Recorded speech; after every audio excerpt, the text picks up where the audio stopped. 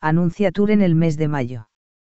La cantante dominicana Real Lazzi llega a México el próximo 15 de mayo para presentar su más reciente producción discográfica La Mujer Independiente, de la cual se desprende el sencillo Cero a Peche, que es inspiración de la cantautora. Este disco contiene seis temas, inspiración de la dominicana, mismos donde quiere plasmar y enaltecer los valores de la mujer luchona, e independiente y la que no necesita a un hombre a su lado para salir adelante. La producción en los próximos días ya estará a la venta en plataformas digitales para que los fans mexicanos de este género urbano puedan adquirirlo. Platicamos con la cantante y nos contó algunos pormenores de este disco. ¿Cómo te sientes de venir a México a presentar tu nuevo disco?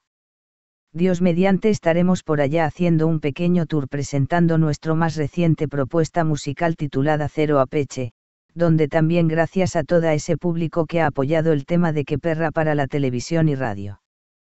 ¿Qué significa apeche? Es un término dominicano en lenguaje urbano donde quiere decir que una mujer no debe aferrarse a un hombre. ¿Tu nuevo sencillo cómo se llama? El disco se llama La Mujer Independiente, porque yo siempre antepongo en todo momento el valor de la mujer y más en estos tiempos donde no se tiene ese respeto hacia ellas. Porque hay mujeres que solo ven cómo sacarle todo a los hombres y a raíz de ahí no se le da el mismo respeto hacia la mujer.